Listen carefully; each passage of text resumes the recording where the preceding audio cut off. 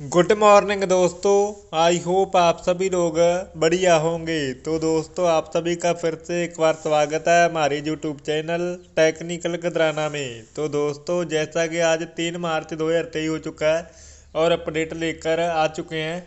तो दोस्तों, आज की अपडेट में आपको बताएँगे, अगर आपकी एज साठ वर्ष से ऊपर, जहाँ पर साठ वर्ष कंप्लीट हो चुकी है तो आपको बुढ़ापा पेंशन के लिए कैसे आवेदन करना होगा? तो दोस्तों, कैसे नई बुढ़ापा पेंशन बनेगी? तो दोस्तों, वीडियो शुरू करने से पहले आपसे एक छोटी सी रिक्वेस्ट है। अगर आप हमारे चैनल पर पहली बार आए हो, चैनल को सब्सक्राइब करें और वीडियो को लाइक करें। तो दोस्तों, वीडियो को करते हैं शुरू।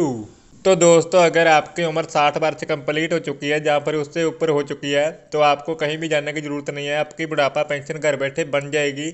लेकिन दोस्तों, आपको जो पीपीपी कैंप लग रहे हैं, आपके शहर में, जहाँ पर गाँव में तो दोस्तों, वहाँ पर अगर आपकी उम्र साठ वर्ष है तो आपको वोटर कार्ड पर साठ वर्ष लिखी हुई है, जहाँ पर स्कूल सर्टिफिकेट पर साठ वर्ष लिखी हुई है तो आपको उसको लिंक करवाना होगा।